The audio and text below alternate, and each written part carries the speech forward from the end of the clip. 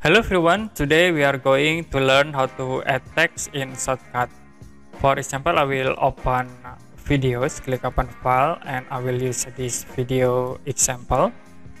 Now to add this video into timeline, you can click plus icon and then I will add text into this timeline. You can click and go to filter, click plus icon.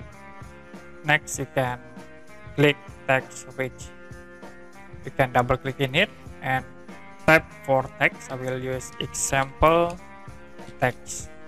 You can sort all and change color like into black.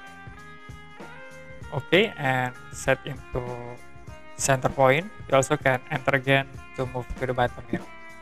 You also can set for text style by clicking at uh, this option. Font is for text style and for underline and the other option.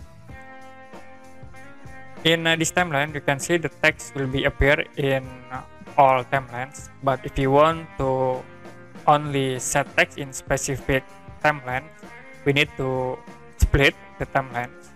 For example, I will delete this text and I will split in here. Click this icon to split and move into this point, split again so I will add text in this timeline you can click. The next go to filter. Click plus icon. Move into text rich. And set the text. Example 2 set again for color. I will set into red. Move into center point.